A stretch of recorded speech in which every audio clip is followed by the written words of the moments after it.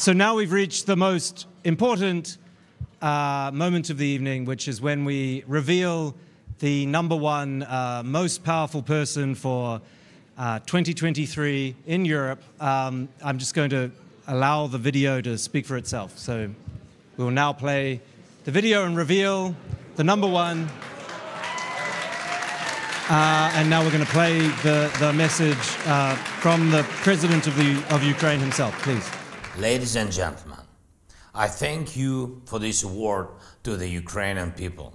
And I mean it, it is destined to all Ukrainians, because leaders can be truly influential only when they represent not only themselves, but the common will, common dream, common goal of their people. This is how we live in Ukraine. We are as united as possible, and that is why we are that strong. We are focused on protecting our independence, and that is why we achieving our goals. We have faced the threat of losing everything, and that is why we have found the strength to become number one. The Ukrainian military who protect us all on their battlefields are number one. Mariinka, Avdiivka, Bakhmut, Soledar, Kremina, please remember these names. That is where freedom is now being fought for. For all of us in Europe, in hard battles and at the cost of many lives. Ukrainian businessmen who, despite the total war, supply everything necessary for the life of the country, protect jobs, and pay taxes are number one.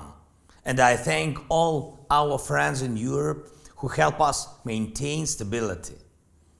Ukrainian doctors, energy workers, sappers, volunteers, drivers and builders, defense workers, teachers, policemen, diplomats, hundreds of thousands of those who help millions live through this terrible time, they are number one.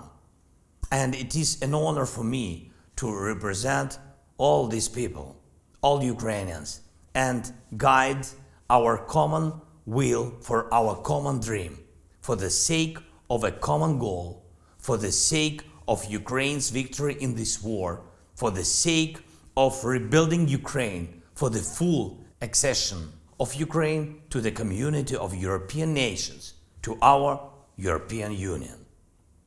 I believe that Ukrainians will be the most influential next year as well, but already in peacetime.